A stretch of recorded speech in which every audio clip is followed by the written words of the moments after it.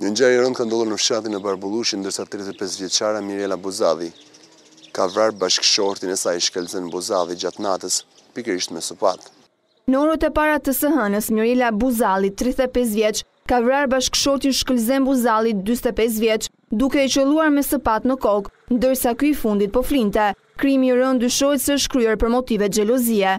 Sipas Policisë së Shkodrës në momentin e krimit në banesë ishin edhe tre fëmijët e familjes Buzalli, të cilët po flinin në dhomën tjetër. Sipas banorëve të zonës dhe të afërmve, çifti nuk njihej si problematik. Një familje e qetë, çfarë të thonë në shkëdi. Ky djali djali djali mirë më. Djali mirë. Po dhe bashkëshortja unë nuk kam në njohuri shumë me me te po. Nuk nuk na nuk na është duk grue e keqe. Kjo mos i ndodht kuj që ka ndodh që ka ndodh në familje po. Djal i mirë s'ka pas as i vetëm. Tu e mbajt ne familjen.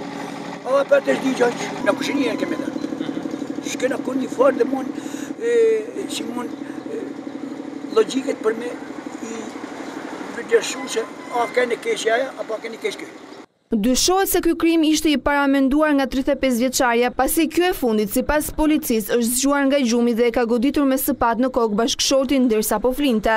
Më pas, nga dritarja e dhomës së gjumit ka hedhur sëpatën në tokë, ndërsa ka pritur për disa orë derisa ka zbardhur drita, për të udhëtuar drejt komisariatit të policisë në Shkodër, ku ka rrëfyer se ka kryer krimin makabër të vrasjes së bashkëshortit. Ndërkohë, sipas grupit hetimor, Gjendja psikologjike e autores ka qenë mjaft e rënduar, ndërsa marrja e dëshmisë ka zgjatur disa orë. Sipas dëshmisë së tridhjetë e pesë vjeçares, gjatë kohëve të fundit, mes çiftit ka pasur zënka dhe kjo ka qenë edhe shkaku i ngjarjes së rëndë të ndodhur këtë të hënë. Çifti Buzalli kishte tre fëmijë, dy djem dhe një vajzë, ku më i madhi prej tyre është vetëm katërmbëdhjetë vjeç.